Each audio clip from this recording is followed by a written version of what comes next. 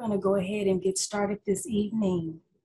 Welcome to UT Southwestern's Science Cafe. For our regulars, welcome back. And for our new guests, we are so pleased to meet you this evening. My name is Charlondra Thompson, and I am part of the Public Affairs team at UT Southwestern. On behalf of my public affairs colleagues, Joya Lang and Mindy Sass, as well as our guest speaker this evening, Dr. Christopher Parrish, thank you so much for joining us tonight. Science Cafes are online conversations where our speakers take you on a deep dive into science topics.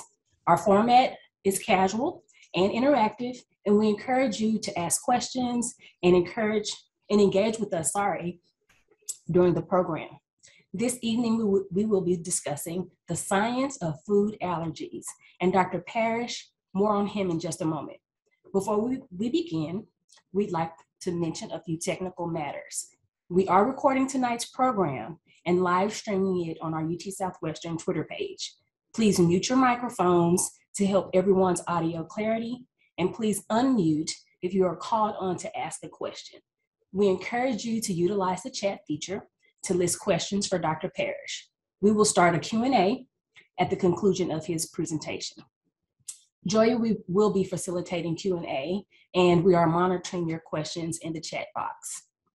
Finally, just as a reminder, while we cannot answer personal medical questions, we would love to hear from you with your general questions. With that, to introduce our presenter. Dr. Parrish is an assistant professor in the Department of Pediatrics and Internal Medicine at UT Southwestern Medical Center. His specialist in pediatric food allergies and eosinophilic gastrointestinal disease. He serves as clinical co-director of the Dallas Eosinophilic Gastrointestinal Disease and Esophagitis program at Children's Medical Center. Joya is pasting his bio link for Dr. Parrish into the chat. Please click through and read all about his incredible work. Dr. Parrish, welcome to Science Cafe. And now, Dr. Parrish, the virtual platform is yours. Thank you very much. I'd like to, to thank you for the, this opportunity. This should be um, hopefully a, a, lot of fun and interesting for everybody who's here. And uh, thank you for everybody for missing out on the beginning of the NFL season for this. All right, so um, I want to, with this talk, I, I want to go over a few things in, in general. I want I want everybody to kind of understand how we approach the diagnosis of food allergy. Um, and I also want to really stress um, some of the recent changes regarding food allergy prevention um, and some of the emerging therapies for the treatment of food allergy. So, the big question that I like to start with is what exactly is a food allergy? So, we use a, the umbrella term adverse food reaction for any sort of symptoms that occur after you eat a food. So, this includes what we would refer to as an allergy and other things that we would not refer to as an allergy. We often use the term food intolerance um, for those uh, symptoms that occur but are not due to your immune system reacting to the food. If your immune system is reacting to the food, we, in general, we call that a food allergy. Uh, most of the time when we're talking about food allergies, we're talking about IgE mediated food allergies. The symptoms of IgE mediated food allergies usually occur very quickly after you eat the food, within minutes to a couple hours. And the severity of the symptoms can ra- range very widely. Um, they can be mild and limited to the, to the mouth and uh, lips and tongue or throat, and that can be more common in, in situations where there's cross-reactive proteins between pollens and foods. Um, that tends to be um, more prevalent in uh, older children and adults. Uh, and it can range all the way up to anaphylaxis, uh, which is a severe, sudden, um, potentially life-threatening allergic reaction. Anaphylaxis itself can uh, have a vary greatly in its severity as well. Um, there are other types of immunologic reactions to foods that aren't quite so straightforward, where it's not just IgE or allergy antibodies binding to the food and causing a reaction. Examples of those would be atopic dermatitis, often referred to just as eczema, or uh, GI conditions such as eosinophilic esophagitis or EOE. There are others where IgE does not play a role, and the most common examples of that would be um, things such as FPIES, which uh, stands for Food Protein Induced Enterocolitis Syndrome, which is why we shorten it to FPIES. Um, it, that is a delayed vomiting, usually in infants, um, after exposure to, to specific food allergens. Um, and the mechanisms for that are completely not mediated through IgE antibodies. Um, on the other side of uh, the umbrella term adverse food reaction lie those food intolerances. Now they can't see us. Come on over.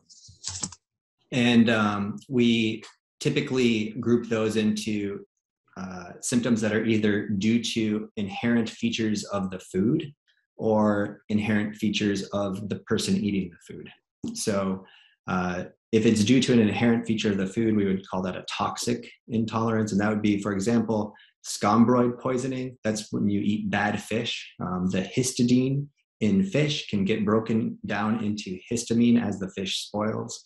Um, so, if, for example, a, a, whole family eats a spoiled fish, then they could all have symptoms that will mimic an allergic reaction because they're actually eating histamine instead of having histamine released as part of an allergic reaction. Um, f- classic food poisoning with bacterial toxins present in the food um, presenting with uh, gastrointestinal symptoms like vomiting and diarrhea uh, would also fall into this category. And then there are other types of intolerance um, that can be due to uh, features of the host. So, for example, if somebody has pancreatic insufficiency, they may not be able to digest the food well, and that may lead to GI symptoms, including diarrhea. Similarly, if you have a de- deficiency of the lactase enzyme in the intestines, you may not be able to di- uh, digest the sugar in uh, milk, uh, which we refer to as lactose, and you may have gas, bloating, diarrhea when you ingest those milk products. That is not an immunologic reaction and it's not a food allergy. So, the basic pathophysiology of food induced anaphylaxis starts with sensitization. And when we say sensitization, what we're talking about is the process that uh, leads to the production of IgE antibodies. So, IgE antibodies are allergy antibodies that are produced after you have an exposure to the food. You have what we call antigen presenting cells that are a part of the immune system that show that those antigens to uh, cells called T cells in your body. Um, with allergic inflammation, there is a skewing toward what we call type 2, or sometimes we call it Th2 inflammation and certain cytokines or chemical messengers, such as these IL4, IL5, and IL13, those are uh, called interleukins. Those are chemical messengers that then instruct um, the immune system uh, how to react to that specific antigen. So in food allergy, we get the skewing towards that type 2 inflammation. The B cells then start making IgE antibodies, which then sits on the surface of mast cells and basophils in the receptor, ready to go if you're re-exposed to that uh, allergen. So upon re-exposure, um, in this case, peanut, uh, the peanut allergens would bind to the IgE antibodies. That causes a process that we call cross-linking, which sends signals through the cell um, for the release of all of the, the chemicals that mediate the allergic reaction, things like histamine, um, and that leads to your symptoms. So, IgE mediated food allergy um, is mostly caused by a relatively small number of foods. These are the top eight foods listed here. Sesame is the, the ninth most common food. Um, if you notice, milk and egg are the most common in children. Um, but when you look at adults, it's really peanuts, tree nuts, fish, and shellfish that uh, predominate. Uh, the reason for that is because uh, milk and egg allergy typically resolve. A lot of the allergens in milk and egg are uh, heat labile, meaning that the allergens actually change their shape after they've been heated. So many children can tolerate extensively baked forms of milk and egg especially if it's inside of a wheat product like a muffin, a cake, or a cookie. And those kids who can tolerate that tend to outgrow the allergy at a younger age. We don't really know whether that's because of feeding those foods or if being able to eat those foods is just a marker of a milder phenotype of the allergy. So at this point, I'd like to, to have a poll question for the audience um, related to food allergy diagnosis.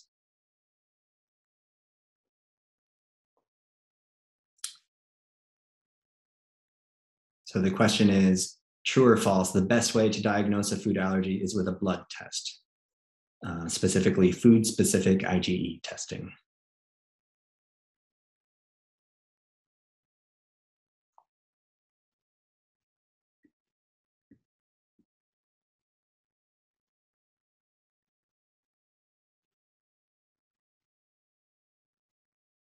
All right, so out of 50 answers, it looks like about 70% of y'all got it uh, correct. So that is not the best way to diagnose food allergy.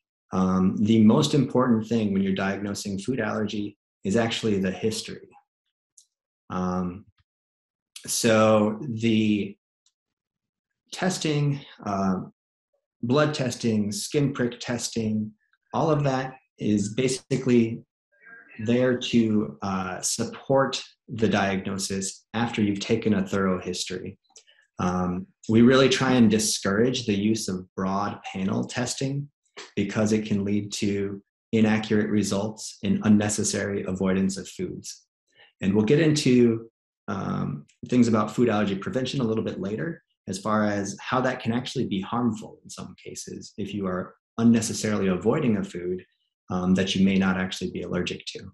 So uh, we, we always start with a history. We, we uh, see which foods children eat without symptoms. If they can eat the food with no symptoms, they are not allergic to that food, no matter what a blood or a skin prick test says.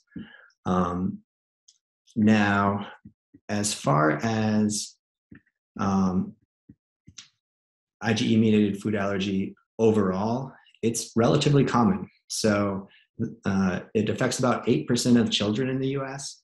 So that's about one in 13. So most classrooms in America will have at least one child with food allergy. The prevalence has been increasing in recent years as well. In general, for management, we uh, identify the allergens through testing to confirm the diagnosis, and then we recommend strict avoidance of those foods. Um, emergency preparedness, including having auto injectable epinephrine, um, whether that's in the form of a generic auto injector, an EpiPen, or an Auvi-Q device, um, remains the mainstay. Uh, we like to have any child um, who has been diagnosed with a food allergy, who's had a history of anaphylaxis or any other systemic or whole body reaction. For example, if they had hives all over their body without other symptoms, that wouldn't be anaphylaxis, but we would still want them to have these um, epinephrine auto injectors available in case of accidental exposure. Um, and we always want them to have a written plan in place so they know what to do if an accidental exposure occurs. As far as risk factors for developing food allergy, um, the strongest risk factor is severe eczema. The worse the eczema is, the longer the child has had the eczema, eczema the higher their risk of developing food allergy. The next most important risk factor is actually having other food allergies. So once a child has reacted to egg or milk, they're more likely to react when they're uh, first introduced to peanut than a child who tolerated those foods with no issues. Mild to moderate eczema is a risk factor, though not as strong as severe eczema. And then family history of atopy. By atopy, we just mean family history of other allergic conditions um, is actually not as strong of a risk factor as one might presume, um, especially if you control for these other factors. So if you have a uh, two children in a family, one has food allergy, the next child in the family isn't necessarily going to have food allergy. And if you take out the the factors of whether they have eczema or they've had uh, reactions to other foods themselves, they're actually not at a, a, a very increased risk um, of food allergy. But that doesn't mean that there's not going to be anxiety um, when it comes time to introduce those highly allergenic foods for those children. So at this point, I'd like to go to the second poll question, which deals with food allergy prevention.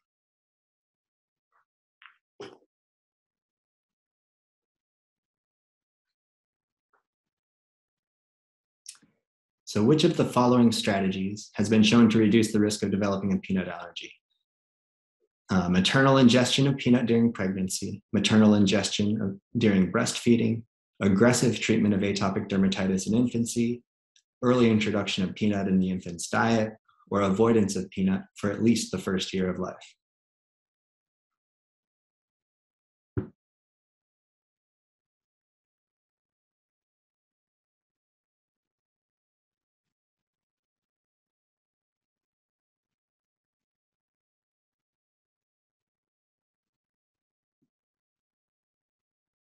All right, so the majority got this question correct. It's actually early introduction into the infant's diet. There's really no evidence that what the mom eats, either during pregnancy or while breastfeeding, um, alters the child's risk for developing food allergy. There's also no st- strong evidence that breastfeeding at all um, actually alters the, the risk either. Um, aggressive treatment of atopic dermatitis, we're going to discuss in the next few slides. And we're also going to discuss the early introduction of peanut into the infant's diet, which has very clearly been shown to reduce the risk of developing food allergy.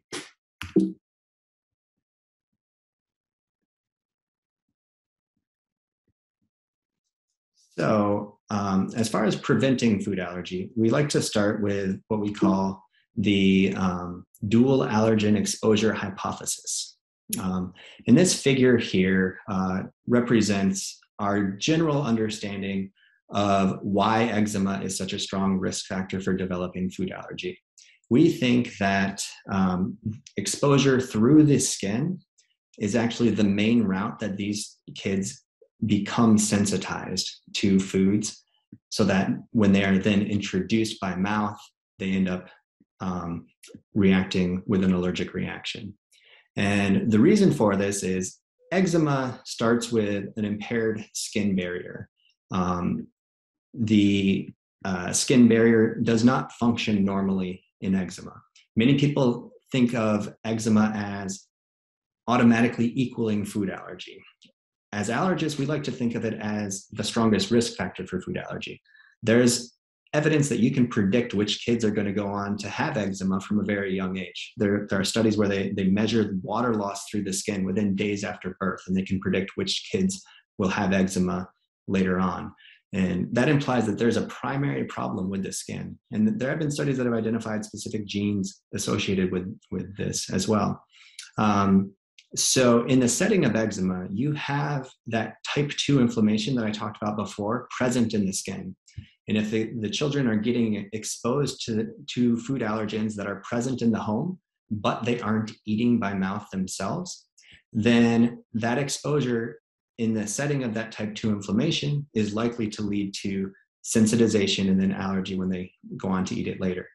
We think that if the child's first exposure to the food is through the natural oral route, that that's much more likely to lead to uh, the development of tolerance and what we call regulatory T cells, um, which downregulate inflammation upon exposure. So, with that hypothesis in mind, it's logical to think that if you could decrease that cutaneous exposure by treating the eczema aggressively, maybe you could alter the risk of that child developing food allergy. And it's also logical to think that if you increase that oral exposure early on in life, you may also be able to alter that risk. So, the skincare approach has been looked at. Um, the largest study uh, to date on this was published just last year. Uh, this was a population based randomized control trial, including thousands of children in Scandinavia. And they were randomized either to no intervention aggressive use of skin emollients or moisturizers, early complementary feeding of peanut, cow's milk, wheat, and egg, or a combination of the skincare plus the early introduction. And this study showed no effect on the development of eczema by the age of 12 months. And other studies um, have also not shown uh, a, a, benefit as far as preventing food allergy. So this is a, a Cochrane review. So this is uh, Cochrane does systematic reviews or meta-analyses, uh, what we call studies of studies, where they look at all the studies that have been done on a topic and they try and and look at where the overall evidence is pointing. And there's the evidence that exists for this is very limited, but at this point, uh, the early aggressive uh, treatment of eczema does not seem to have evidence behind it as far as preventing food allergy. And just this year, there was a, a, a study published that actually suggests that frequent application of moisturizers early in infancy may actually be counterproductive. At first, this is counterintuitive because you'd think that if you're, you're treating the eczema better, uh, that you may be able to, to reduce the risk and you wouldn't think you'd be worsening it. But if we go back to that uh, dual allergen exposure hypothesis, um, you know, if the parents who are applying the um, uh, the moisturizers onto the skin of, of, the child happen to have food allergens on their hands when they're doing so, they may be actually contributing to that process of sensitization through the skin. Um, this definitely w- warrants further study, um, but the findings are pretty um, striking, as you can see from the uh, chart here, showing that as far as rates of food allergy by three years, the rate was significantly higher in those who were applying moisturizer multiple times per day. And this was regardless of the presence or absence of eczema in those kids.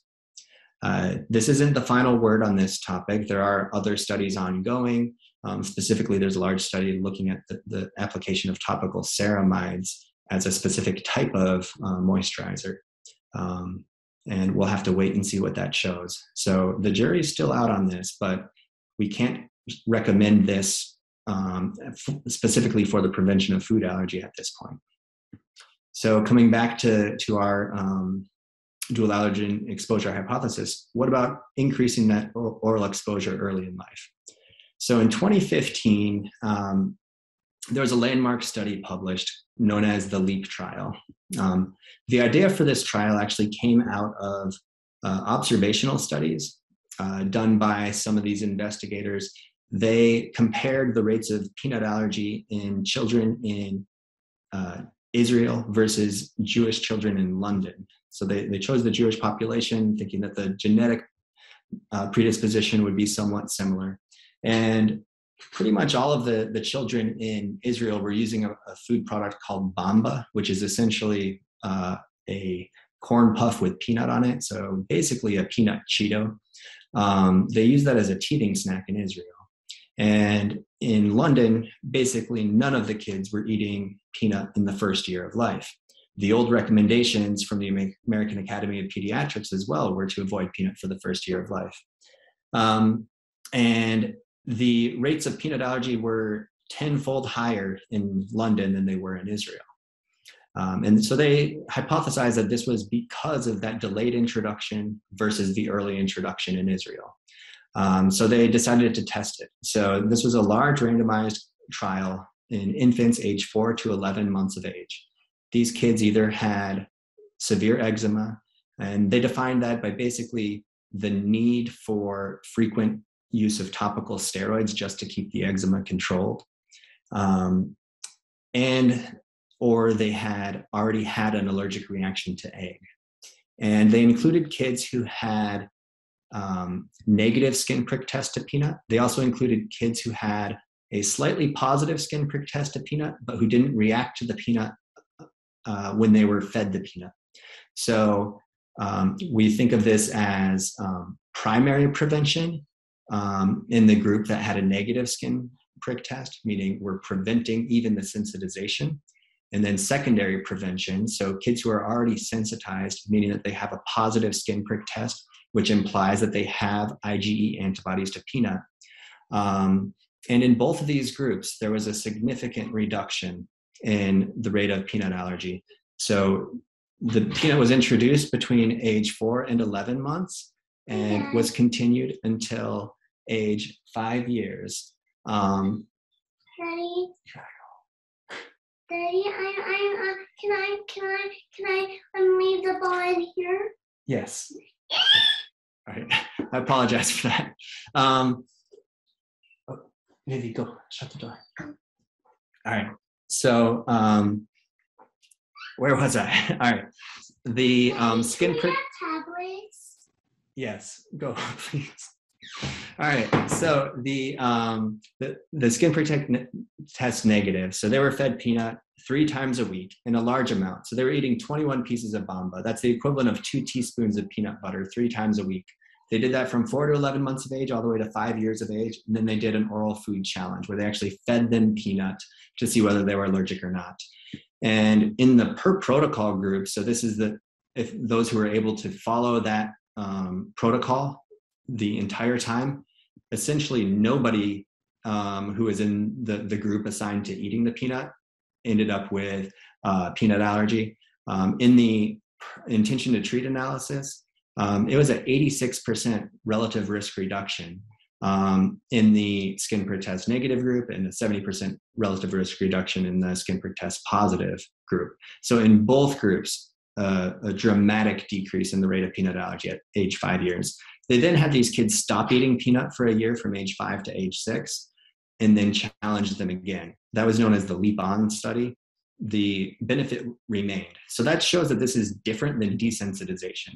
For desensitization to foods, if you stop it, most of those kids become reactive again after they um, have a period of avoidance. Uh, with this, this is true tolerance. So, this is what people who aren't allergic to foods have, where they don't have to think about when the last time they ate the food was. They can skip it for an entire year, come back to it, and not have an allergic reaction. So, the um, early introduction of egg has also been studied, and this gets a little more complicated. So, there were four studies that that were done that did not show benefit. Um, but if you look at this column here where it says form of egg, um, the three Australian studies and the German study all used raw egg powder. And as I talked about before, the allergenicity of egg depends on how it's prepared. The more it's cooked, the less allergenic it is. Um, one of the problems they ran into in these studies was allergic reactions at initial exposure. So a third of the children in the um, STAR study actually ha- were allergic with the initial exposure. So you can't really prove that you can prevent food allergy when you have that many of the kids allergic at the start of the study. Um, those were high risk kids, but even in this standard risk group from Germany, um, they had a really high rate of anaphylaxis at entry to the study. Then there was a Japanese study that was published that used heated egg powder that actually showed that in high risk kids, you can absolutely reduce the risk of them becoming allergic to a egg and the number needed to treat. So, how many kids you would have to introduce egg early to prevent one egg allergy in this group was only 3.4. So, that's a really strong benefit. It was so strong that they actually stopped the study early. Um, the EAT trial, which is actually the trial that that application of moisturizer um, uh, was, was part of. Uh, it, it also this was a study done in the UK by the same a lot of the same people who were involved in the, the LEAP trial. They tried to introduce um, a larger number of uh, allergenic foods early on in life, and they basically proved that it's really hard to get babies to eat a large number of highly allergenic foods on a very regimented schedule. So, in the per protocol group, it reduced the risk of peanut allergy and egg allergy. Um, but in the overall analysis, they didn't see a benefit because so many of the kids just wouldn't eat the foods on that consistent of a basis. Um, and then there was a meta analysis that looked at all of these studies all together, looked at all the evidence, and came to the conclusion that there was moderate certainty that introduction of egg between four and six months reduces the risk of egg allergy. As far as cow's milk, we initially had nothing but sort of what I would call circumstantial evidence that early introduction of cow's milk may work. Um, there were, were observational studies, including one in Israel, that showed um, almost a 20 fold higher risk if you introduce milk around six months of, of age versus within the first two weeks of life. Um, there was a Japanese study that showed that your risk of developing cow's milk allergy um, uh, was about tw- almost 24 times higher um, if you delayed or didn't introduce cow's milk. Um, and from that same study that showed that early introduction of egg worked, they also surveyed about milk consumption, and there was a suggestion of benefit there as well.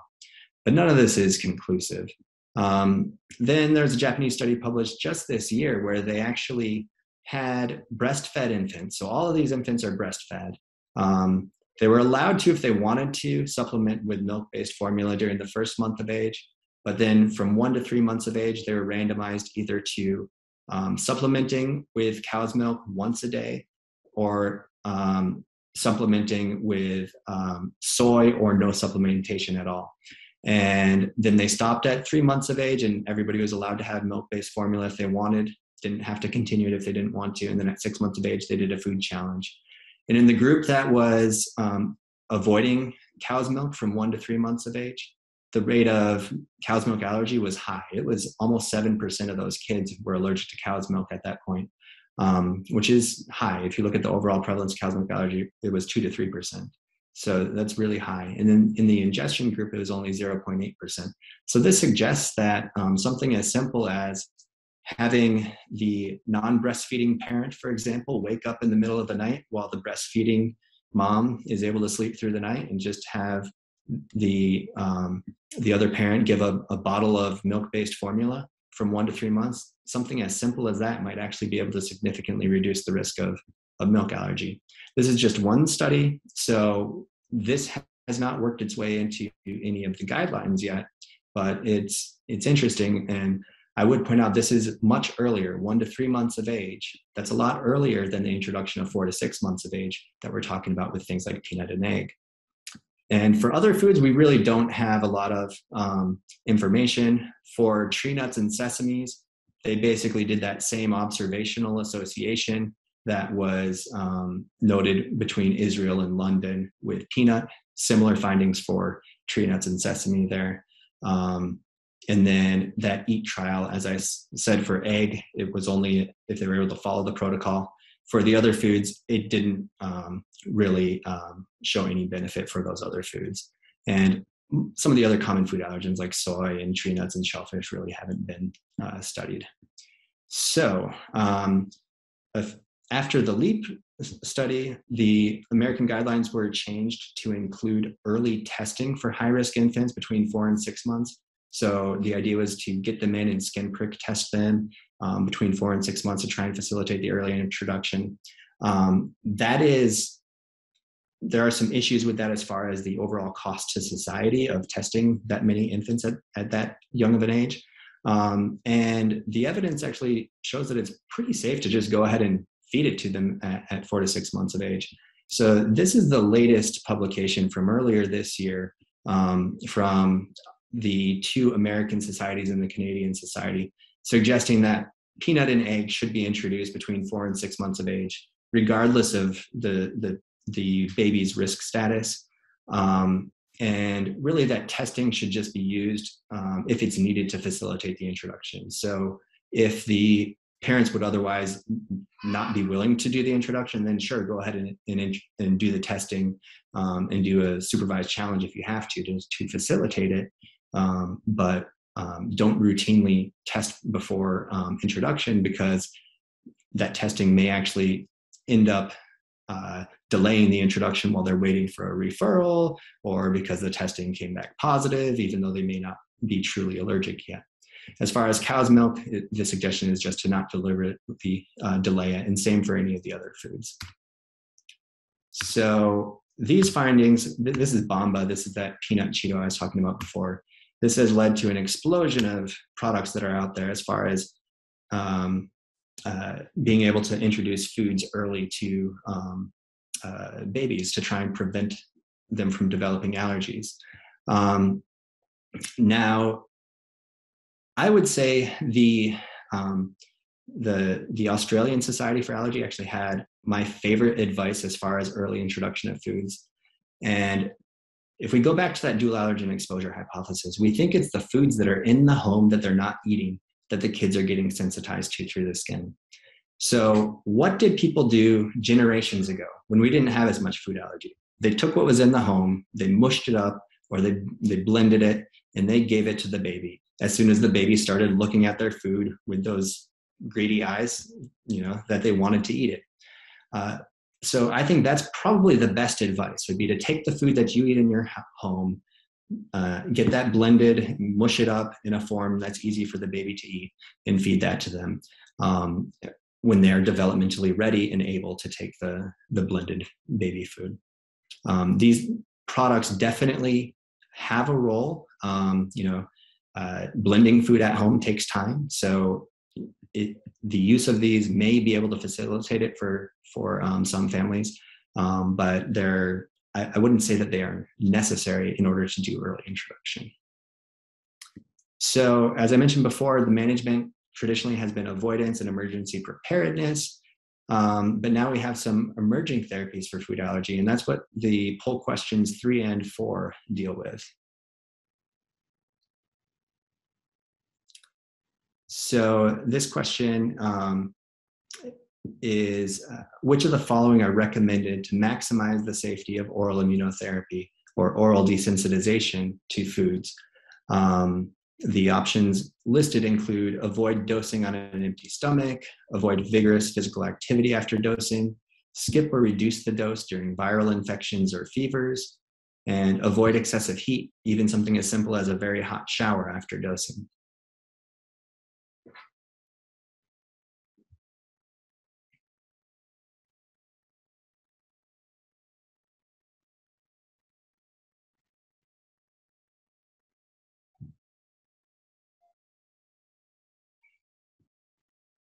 All right, so it looks like we have a lot of very good test takers in this group. So when you see all of the above, it's often the right choice. Um, and in this case, it absolutely is the right choice. So with OIT, um, we're trying to feed foods to individuals who we know are allergic. And we know that there are many cofactors that can um, increase the risk of reacting by either lowering the threshold or how much food it takes to cause a reaction, um, or can amplify the severity of the reaction when it does occur. Um, and some of those factors include um, ingestion on an empty stomach. The food may be absorbed more quickly. Uh, that may lead to, to higher likelihood of symptoms or more severe symptoms. Um, physical activity is a well-known cofactor for anaphylaxis and has, is associated with um, worse reactions. Um, viral infections and fevers um, uh, when your immune system is in a state where it's sort of revved up by something else, um, that uh, can also increase your, your likelihood of reacting to a, a, dose that you previously tolerated.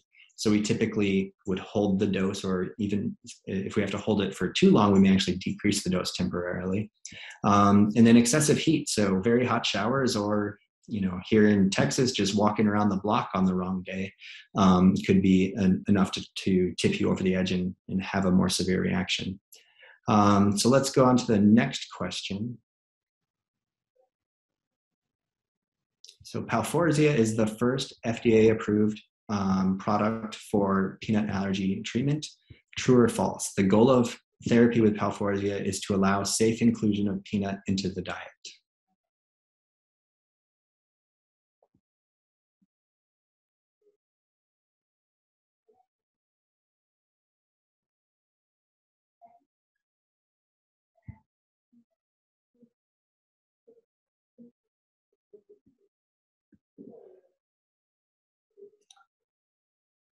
All right. So um, actually, this is the first question that the majority got wrong. So this is actually false. So Palforzia is defatted peanut um, powder. Um, it was FDA approved uh, with horrible timing, basically right as the COVID pandemic kicked off. Um, but we were a participating site for um, the majority of the Palforzia trial, clinical trials. And Palforzia uses a maintenance dose of 300 milligrams. 300 milligrams is about the amount of peanut protein that's in one peanut kernel. Um, so eating that amount per day uh, significantly lowers your chances of reacting if you have an accidental exposure to peanut.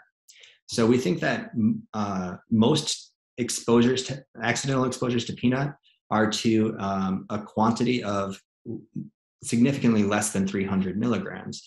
And that's based off of studies. There's a, a, lab in Nebraska actually that does a lot of study where they, they, they take uh, food products that have those warning labels on it and they actually measure the peanut protein in those products. Most of the time it's less than 300 milligrams. Um, so typically if you're on a maintenance dose of Palforzia, you're not going to react if you have a, a, an accidental exposure from a, a trace contact um, uh, exposure. Now, as far as um, whether it actually allows safe inclusion of peanut into the diet, eating a, a complete peanut butter and jelly sandwich or something like that is not the, the goal of that specific form of oral immunotherapy. Um, and the reason why they chose that lower dose of 300 milligrams is because when it was looked at compared with higher doses of um, two to four grams of peanut protein, um, you get a similar desensitization effect, but you have higher rates of side effects if you push to that higher dose. Um, and in general, no matter what, if you're desensitizing to peanut, the majority of patients are truly just desensitized. That means that if you stop the treatment and then wait a while and try and feed the food to them again, they're going to react again. They're going to lose their um, desensitization. And as I mentioned before, that's different than different than true tolerance. Now, there are some individuals who do so well with with therapies such as this, they are eventually able to to actually reintroduce peanut into to the diet, but that's not the um, specific goal of that therapy. Um, so we'll move on to the uh, next slide. So with the emerging therapeutics, um, obviously oral immunotherapy, we discussed Palforzia. There are uh, absolutely clinics out there that offer oral immunotherapy um, outside of clinical trials and outside of Palforzia. Um, we at UT Southwestern, um, we stick to the, the clinical trials um, and Palforzia at this point. Epicutaneous immunotherapy is a, a, different approach. So using much smaller doses of allergen. Um, the dose that's been used in the peanut uh, clinical trials is 250 micrograms, so one one thousandth of a peanut. Um, and it, it's placed over intact skin. So this is very different from uh, getting exposure to eczematous skin, uh, which we think leads to um, sensitization to the peanut. If you're putting it over the intact skin in this very low dose, it actually um, can have a um, desensitiz- desensitizing effect.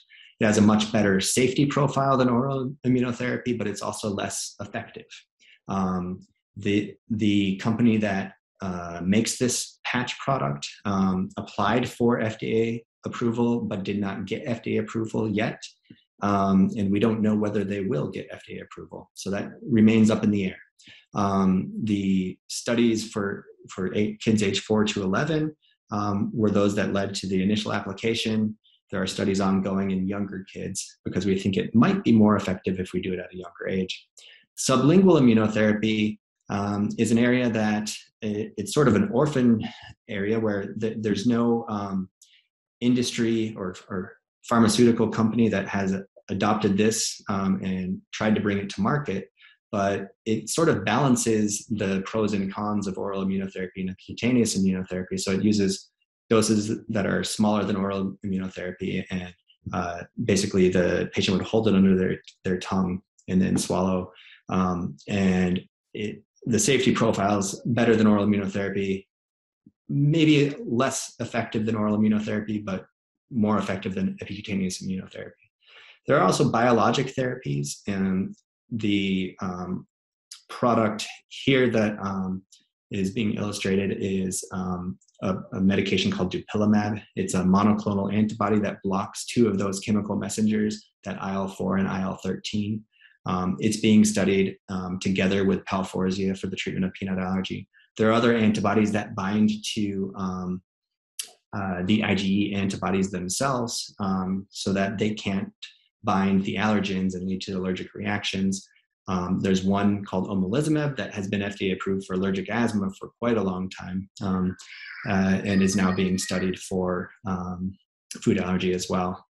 Um, and in fact, that's a, a, trial that we actually are actively re- recruiting for. We're looking for, for children who are allergic to peanut and at least two other foods, um, either milk, egg, wheat, cashew, hazelnut, and or walnut, um, age one and up. And this is looking at that medication omalizumab uh, to see whether that can uh, reduce their risk of allergy. This study does also include um, one phase of it where um, the kids will be would be randomized to uh, desensitization with the use of that medication to improve the safety profile versus um, the medication itself with placebo desensitization. So it's a very interesting study. Um, so I wanted to leave time for questions because I'm sure we're going to have lots of questions. I think I, I hope I left enough time. I know we have a lot, but let's move on to the questions at this point. And so these are the voices you heard in the background um, interrupting uh, when they came back from the park. It was the sweetest interruption. well, thank you, Dr. Parrish. I am going to dive right into questions. Um, our first question comes from Dolores. She asked if you could explain the difference uh, between poll number two answers D and E. Um, so just as a reminder, those questions, the question was, which of the following strategies has been shown to reduce the risk of developing peanut allergy? D was early introduction of peanut in the infant's diet, and E was avoidance of peanut for at least the first year of life. Yeah, so E would be um, what the recommendation was in the early 2000s. Um, and that would be not feeding peanut at all in the first year of life. That is associated with higher rates of peanut allergy. And that LEAP study that we went over definitively showed that doing the opposite, introducing it early, between four and six months if you can, and then keeping it in the diet three times a week in a relatively large amount can actually really lower the risk of becoming allergic. Got it. Thank you. Our next question comes from Hope. Hope asks Are food allergies an autoimmune disease? They're not an autoimmune disease. Um, autoimmune disease is, well, I shouldn't say that they are not. So, technically, celiac is an autoimmune disease. In celiac, we would refer to as a type of food allergy. But when we're talking about IgE mediated food allergies, we would not call that an autoimmune disease. In celiac disease, that you are developing antibodies that actually target your own tissues. Um, whereas in IgE mediated food allergies um, and other types of food allergies, you are uh, developing antibodies that bind the food and that binding leads to symptoms. So the, the allergy antibodies are not directly attacking your body the way that it, that happens with celiac disease. Because it is an immune system reaction, it would still be on the food allergy side of that umbrella term, but we don't usually refer to it as, as a food allergy. And most of the uh, classic food allergy examples would not fall in the autoimmune category. Thank you. Uh, my next question comes from Jennifer, who asked so exclusively breastfeeding increases risk of da- dairy allergy. No, that, that's not what that, that showed. So um, it, they're exclusively breastfeeding does not alter your risk of food allergy. Um, early introduction of cow's milk may lower your risk of developing milk allergy. I wouldn't say that that's the same as saying that exclusively breastfeeding increasing your risk. Um, I would say that there is some evidence that if you can start supplementing just that small amount in that one to three month age range, you may be able to lower that risk. Again, that was one study in Japan, hasn't been fully proven. Um, so at this point, the recommendations are still exclusive breastfeeding for the, the first four to six months and then start introducing those um, complementary foods in that four to six month age range. Thank you for clarifying that because I actually was wondering the same thing. um, from Grace, uh, Grace asks, once a child develops a severe allergy, is reduction of risk possible? For example, desensitization treatment. Yes, so desensitization is possible.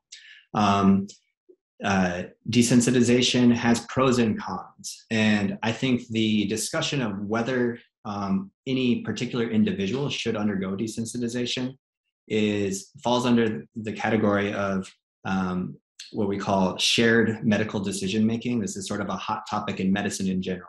But I think this is an, an area where um, very reasonable people could come to absolutely different conclusions on whether it's right for, for a particular individual.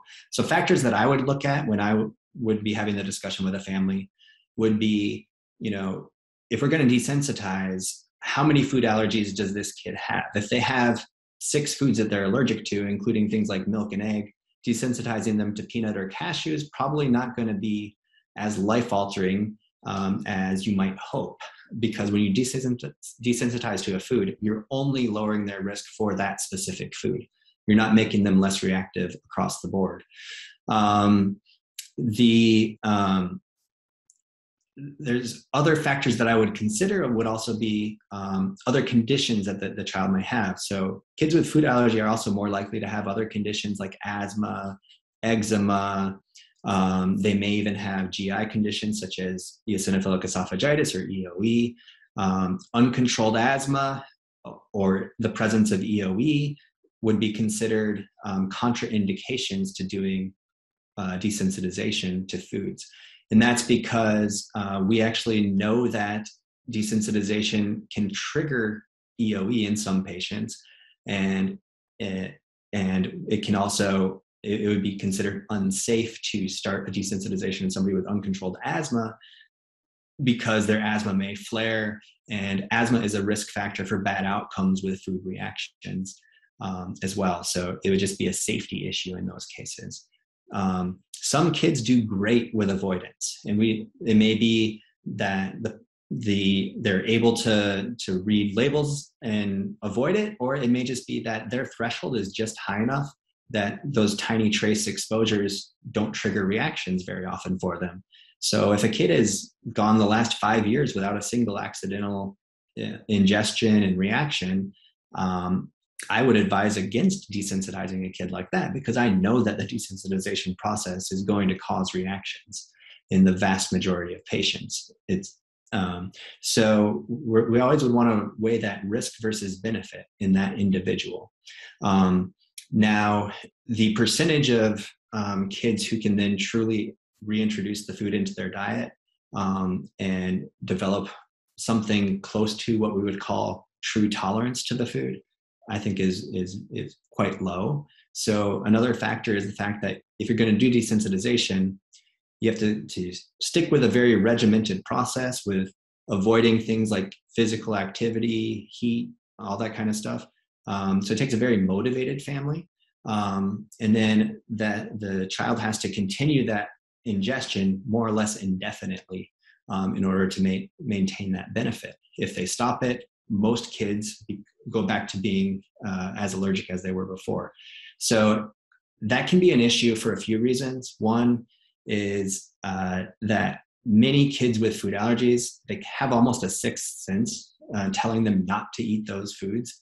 So they have an aversion to it. So it can be a daily battle trying to get them to eat the food. You can try and mask it by mixing it with things like chocolate pudding. You know if you're doing peanut mixing it with chocolate pudding or um, applesauce and things like that. But um, it, it, it's not an issue in all kids, but in some kids, it can be a major limiting factor in, in how feasible it is to just stick with the desensitization long term. Thank you. Next question comes from, I believe it's pronounced Conwell. What is the optimal age to start OIT? So we don't really know the answer to that. There uh, have been some studies that suggest that starting earlier may be better. Um, so there was, in particular, there was a study that was done at Duke. So they named it the Devil Study um, that seemed to show that really early um, peanut OIT um, had a higher rate of success. There are also some studies out of Australia using the combination of peanut and pro- probiotics that had really high rates of success and actually higher rates of um, what we call sustained unresponsiveness. So more of the kids were able to maintain um, their tolerance or their ability to eat the food after a period of avoiding it. Um, but that really hasn't been definitively proven. Um, and you know there are uh, are other reasons why doing it at an older age may be a little bit easier. Um, you know, you can reason with an older kid as far as trying to get them to take the the the, desensitization product regularly um, and they may be able to communicate with you better when they're experiencing a reaction and symptoms as well Got it. Our next question comes from Jan and Tom. If the cow's milk intolerance is really lactose intolerance, then can it just be treated? So if the if a, if somebody has lactose intolerance, your options are to avoid lactose. So there are um, cow's milk products out there that are lactose free. Um, other products like uh, yogurt tends to be relatively low in lactose and may be better tolerated because the bacteria in the yogurt metabolize the lactose for you. Um, uh, and then you can take um, uh, Lactaid tablets, which basically contain the enzyme and help digest the lactose for you. For example, if you wanted to have some ice cream or something like that. So yes, there are ways to manage lactose intolerance. Um, I wouldn't say that it can be treated, but it can be managed. Thank you. I'm going to take a few more questions and now I'm going to go out of order. Um, from Sydney, have any of your peanut OIT patients developed EOE? Um, me personally, I can't think of any off the top of my head who have. Um, there absolutely are patients who undergo OIT and develop EOE. Um, it's the rate of that is not fully clear. Um, there was one meta-analysis that quoted at 2.7%. Um, but one thing to remember is up to somewhere between 10 and 20% of kids who undergo OIT will have significant GI symptoms. Some of them you back off on the dose and then work your way back up and they do fine. Um, others eventually um, do get an endoscopy. Others just stop the OIT without an endoscopy being done, so we never know whether it was triggering OIT or not. Um, so we don't truly know the rate that um, EOE develops. Um, there was another study um, out of CHOP that estimated uh, around 5% um, might have it if you were just basing it off the symptoms and trying to uh, predict which kids would actually have EOE if they had an, an endoscopy. Um, but there was another interesting study that was done um, in, eh, with, between um, uh, Stanford and some investigators in Arizona as well. Um, they actually, in adults, they actually did biopsies in people without symptoms of EOE.